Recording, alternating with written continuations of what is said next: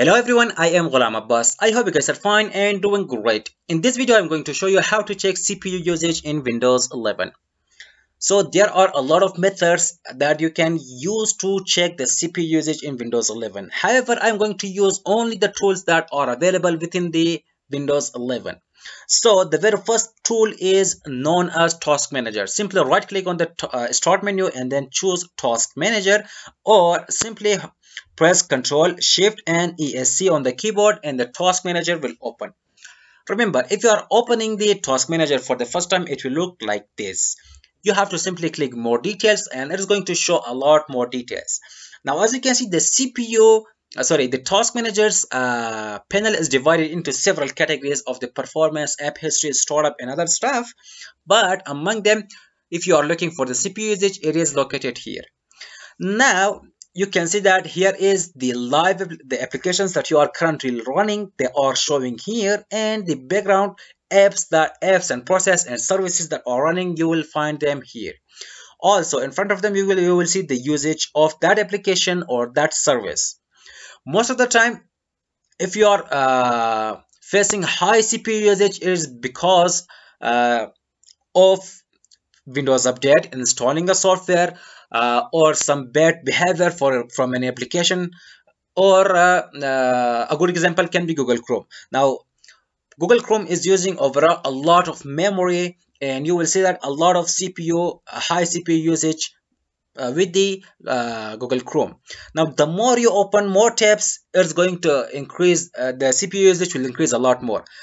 Also, I have noticed that those browsers which their source code are taken from Google Chrome, they have the same issue. Suppose the Brave browser, which I'm using on the daily basis, and there's also the Microsoft Edge, which is also, again, taken, the source code is based on the Google Chrome. Now, they all have the same problem, the same issue.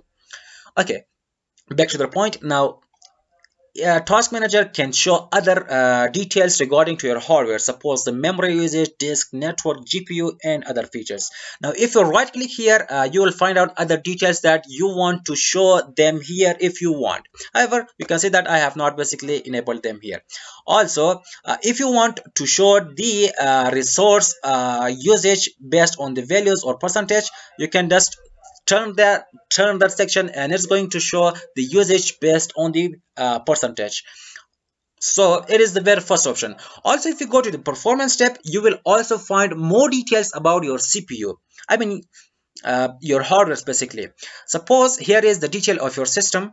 Uh, here are the cache of your system. Here is the virtualization status and the core.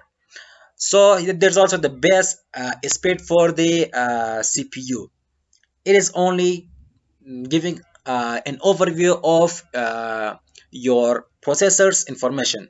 Also let's go to the second option how to check the CPU usage in Windows 11 that is called resource monitor. You can either open it from the taskbar sorry task manager or you can search for it in the task uh, bar. Simply search for resource monitor and it's going to appear.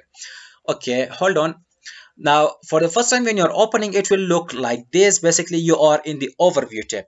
Uh, you can find out the CPU usage here and the maximum uh, CPU uh, frequency that the system is using. Also, you will find out that which apps are uh, running, stopped or suspended. So here are the status. There are also the thread usage for the application, the CPU, every CPU usage, and other information that you can find out here. And also in the uh, left bar, you will see the live, I mean the real-time performance of each part of the hardware. Suppose CPU, there's the disk, network, and here's also if I have to, uh, here's also the uh, memory usage, which is RAM.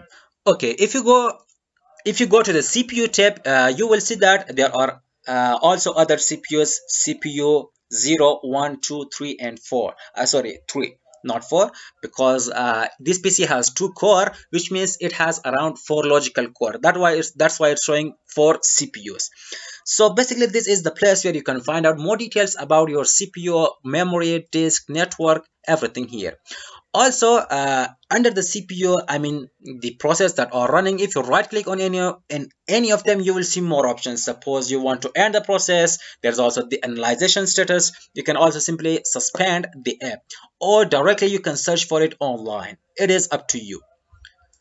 And the final method that you can use to check your CPU's uh, usage or performance uh, rather you can call it CPU's performance uh, than the CPU usage. That is called performance monitor. Now if you search for it in the taskbar it's going to appear. Now it is uh, basically the overview panel of the performance monitor.